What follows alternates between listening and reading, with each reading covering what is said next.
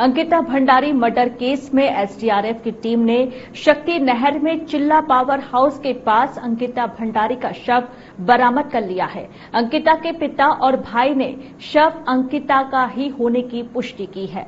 दर्दनाक घटना को लेकर सीएम धामी ने अंकिता भंडारी की मौत पर दुख जताया है।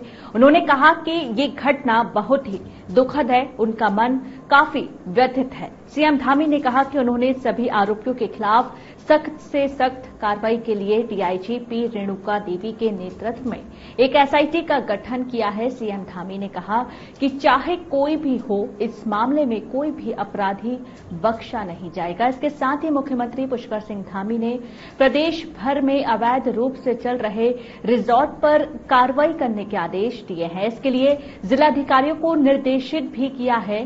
सीएम ने कहा कि अभी तो सिर्फ़ रिजॉर्ट पर कार्रवाई हुई है। आगे और भी कार्रवाई होगी। जानकारी मिल रही है कि इस क्षेत्र में दर्जनों इस तरह के रिजॉर्ट बने हुए हैं। अब सभी अवैध रिजॉर्ट पर कार्रवाई की जाएगी। एमके न्यूज़ की डेस्क रिपोर्ट।